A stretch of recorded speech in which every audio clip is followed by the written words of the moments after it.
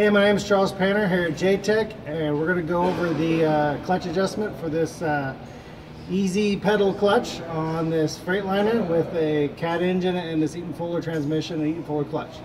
So we're going to go through it. Uh, first things first, we got to check to make sure we need to do adjust, uh, clutch adjustment. So if you come on in here, we use this tool. It's got a fork on one end, and it's a little pointy outside. This is a half inch tubing to go between the uh, the throw bearing and the clutch brake. We need a half inch. This is kind of like a go no go gauge. Then we need an eighth, 18, eighth of an inch between the forks and the throw bearing. I'll show you where those things are. So we come up in here. So our clutch inspection cover is already off, so we can look at it. If you look up here, this on this is our throwout bearing. Let me turn this around. Here's our throwout bearing, and here is our clutch brake right there. It's the thing on the side. You see it moving? Okay. So we need to check this space. So we're going to use the fork end of the tool and put it between here. And if you look, there's a lot of play in there. That should not be that way. Now let's check the forks. I don't know if you can see this. We're going to go on this side first. Check the forks with the throwout bearing, and I cannot get my gauge in there at all. And on the other side, I cannot get my gauge in there at all. So this clutch needs to be adjusted. So I'm to have my assistant up top press on the clutch. What that's to do is to take pressure off this pressure plate right here and allow me to use this clutch to adjust this bolt right here. All right. Push down the clutch. Yeah. All right. So put my ratchet up on here. Push it. Righty tighty, lefty loosey. All right. Now we're to check it. Release the clutch. Alright, we're going to check it again. And we are a little, sunny adjust a little bit more. Alright, press the clutch.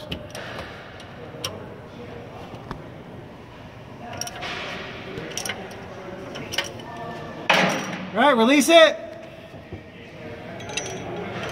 There we go, that's better. So it's nice and snug. I can move it out. Sorry. So this clutch has been adjusted. Now we're going to check the forks. Check this side first. So you see what we're doing? We're checking the distance between this fork and the throwout bearing. And oh, it's fitting. Yeah, it's fitting on that side. Good. So this clutch is properly adjusted.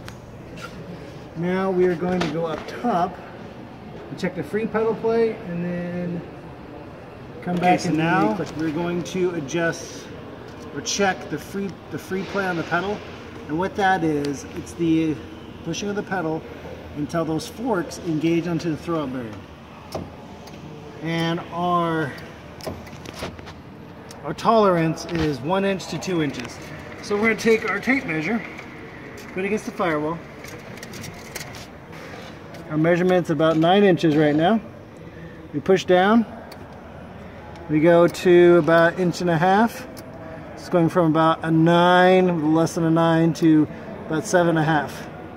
So the reason we use our fingers is because we can judge the, the, the wall a lot easier. If we use our foot, there's a chance we can over press it just a little bit, and that'll give us a, uh, wrong reading. So we use our fingers to get that nine inches, about seven and a half, so it's an inch and a half of play. That's what we want. It's about one, one inch to two inches. So next we're going to check the clutch brake. We're going to uh, check the uh, clutch brake. So we have to engage the clutch all the way.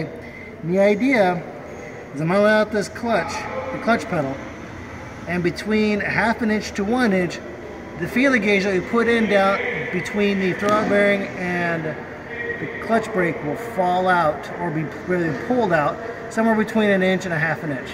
So the reason we do this is so that it assists the driver in going in from to putting the putting the transmission in the first and reverse.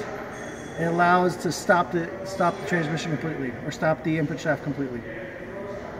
So if you come back in here, we look, if you look, we're at about an inch and a quarter or inch and seven, three quarters. And they're gonna tell me, okay, I'm letting out the pedal. Okay, so travel to about two and a half. So we got about three quarters of an inch. That's within our tolerance, so we're good. All right, so that's how we do clutch brake. Now we're gonna go underneath. Again, talk about the clutch brake some more. And well, I'm gonna show you the feeler gauge, where to place the feeler gauge, and also talk about uh, the grease points. All right, so we're gonna do right now is we're gonna, we're gonna put the feeler gauge up there so you see how to do this. So come on in. So right now, the clutch is disengaged. Put the feeler gauge up here. All right, press in the clutch. Now if you look, feeler gauge is now hanging there. All right, let out the clutch. See that? That's what we're looking for, and that's where that uh, two, uh, half inch to an inch comes in. So we're using a tenth of an inch feeler gauge to do that. Okay, now next thing I'm gonna note on here, to get my handy dandy pointer, is the grease fittings. So if you look, this right here is a grease fitting. There's another one here. There's also two on the outsides, which kind of a pain in the butt to see. But there's one there. There's one over here. It's way up top. I don't know if you can see it from there, but we'll come back in here. So when you grease these, you grease these grease fittings, right? So you put, when you grease them, you're gonna grease them until you see grease come, come out from the bearing itself. Now, you don't over grease it. The way you know you're over greasing is that you've filled this thing with grease. You don't want the grease to come out because it has to grease this clutch brake. The clutch brake will not work without grease. So you make sure that every time you do a clutch adjustment, you grease this clutch. All right, so that's all things to note about this uh, clutch adjustment. Hopefully you learned something. Uh, if I missed something, let me know. Thank you again and have a nice day.